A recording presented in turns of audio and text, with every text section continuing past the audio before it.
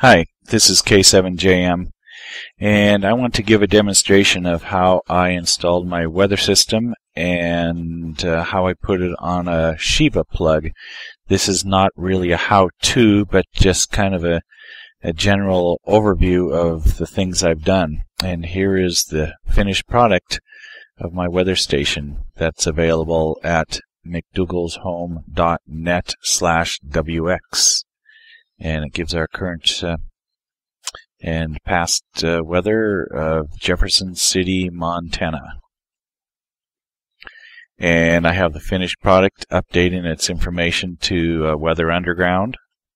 So if you search for Jefferson City, Montana, there's our, our current weather and um, our webcam.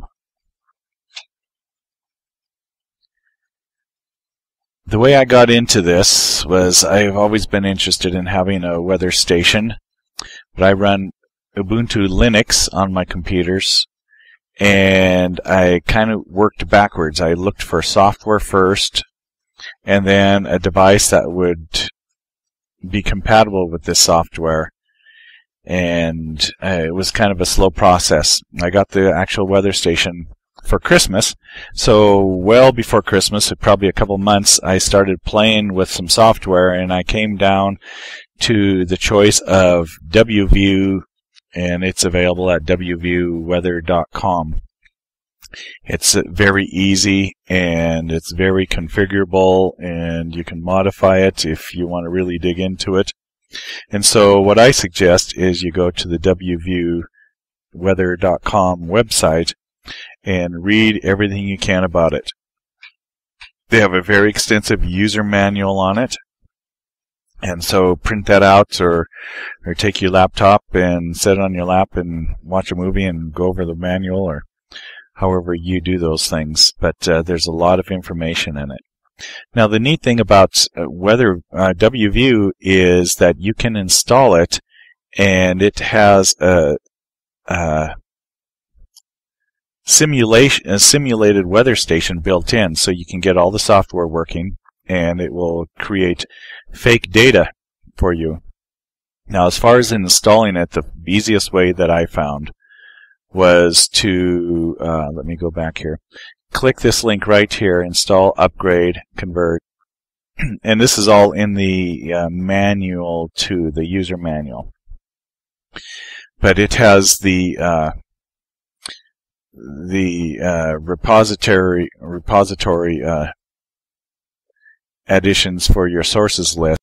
For Ubuntu, I used uh, this one that says for Lucid, and I used that for 10.04 and 10.10, 10.10, and that worked for both. Later on, I'll show you how I installed it on a Shiva plug computer eh, with Debian and uh, even though I'm using Debian Squeeze uh, testing, I used uh, the Lenny source here. And that makes it much easier. You'll find instructions how to install it manually. I did that at one time and I had a lot of problems. I managed to get it working, but uh, doing it with the source is very much easier with the apt-get install and install it. It's very easy. So this is what it looks like when you're just testing it. I changed some of the colors and configuration on this in case uh, when you fire it up it doesn't look exactly the same.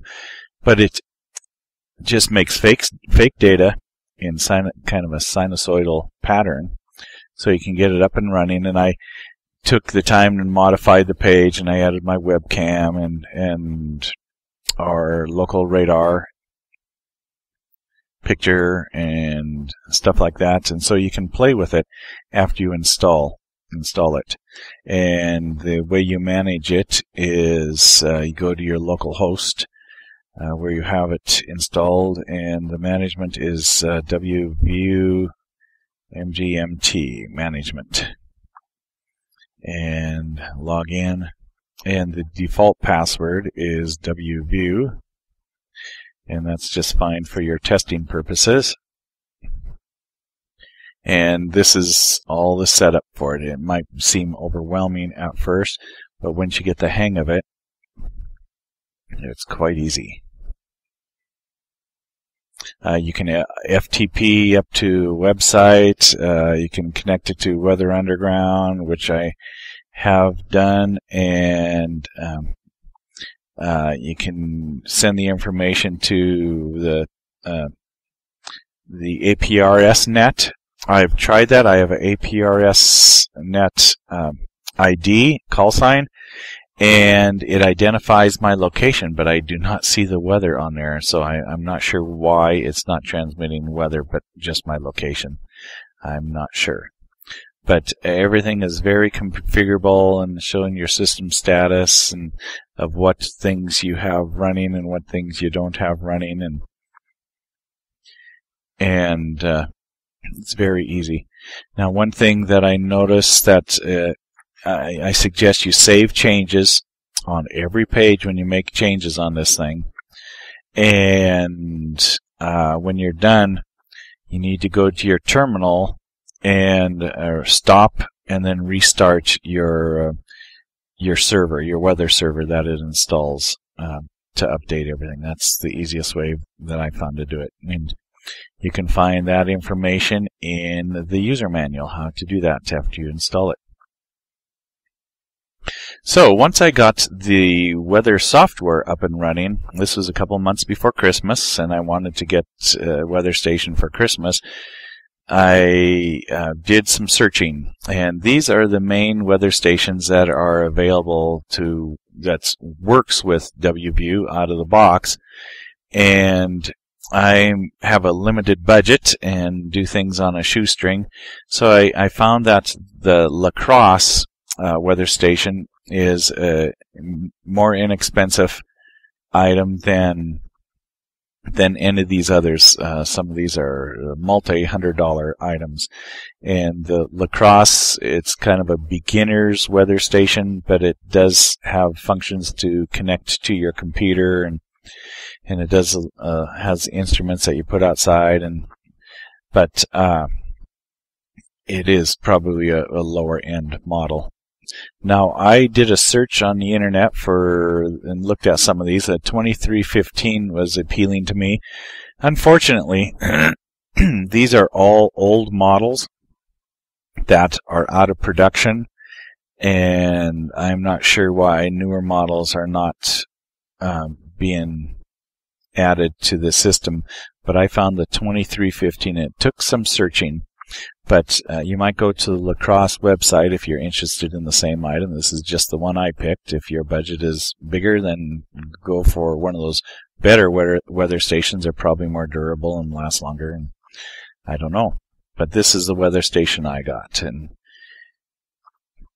it does uh, quite a bit. Uh, it has uh, uh, temperature, humidity, wind, wind speed, direction, rainfall measurement, uh, barometric pressure. So it has all the basic stuff. You can go on to Google Shopping and give a search and many of the places that have it listed, you go to their website and click purchase and they'll be, they'll say out of stock and no longer available or something like that and you get quite a variety of prices on this thing. Like, for example, this one's 272 bucks, and uh, this is from Universal Radio, a good ham radio site. They have them for about 200, and before Christmas they had all three available, all three colors, and so they are selling them, and and looks like once they're out of stock, that'll be it. I did find a cheaper one here. This is not where I got mine. Uh, the place I got mine, there's no longer available, but this is for 150 bucks. They're brand new. It's just kind of a closeout item. And that's about the same price I spent for mine, although I got the wood side panels instead of the aluminum one because that's what was available. To connect all this stuff up to my computer, I needed a COM to uh, USB to COM cable because my computers don't have any RS-232 cables, and that's what this older item interfaces with is a COM uh, the RS-232 protocol. And so I was careful to search for an item that I knew that would work for Linux. I, have read a lot of different things on serial cables that uh, some work, some don't work, and there's quite a difference in them. And so I found this item, and it works very well. It works perfect. The reviews, there's a couple of reviews that said it worked with Linux, and it has.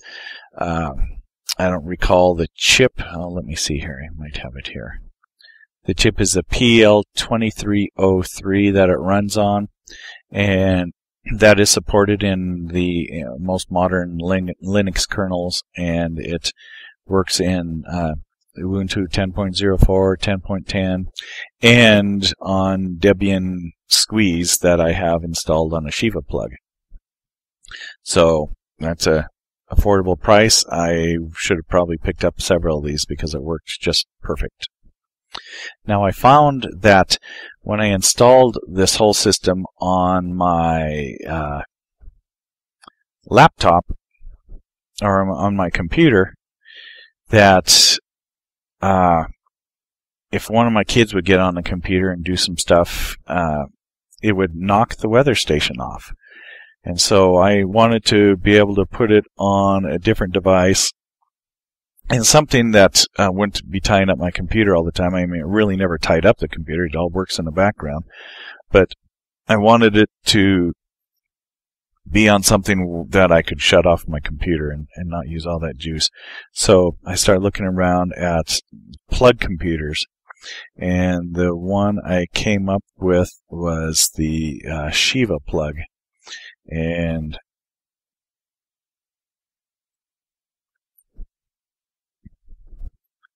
let's go to uh, SheevaPlug here, and I got it from the globalscaletechnologies.com. It's and I got the SheevaPlug development kit. Wait for their website to pop up. by. and this is the SheevaPlug. It's just a very small item. It's a, bit bigger than a like a AC adapter for a printer or something like that, but it, it's still quite small item.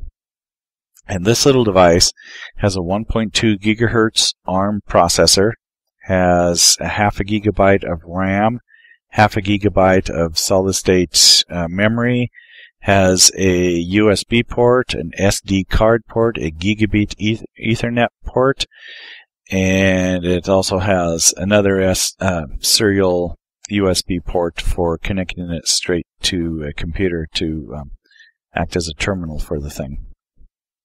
Costs a hundred bucks. They also have uh, different models that are a little bit higher uh, level. Uh, they have what's called a GuruPlug, which one of their models has Wi-Fi in it. That's very interesting, but I read some reviews that they get quite hot and uh, like too hot to the point of burning themselves up. And so I shied, shied away from that. Otherwise, I would have definitely got that because of the Wi-Fi. That would have been made it just one step easier because I wouldn't have had to have this tied close enough to my router to plug the Ethernet port in it.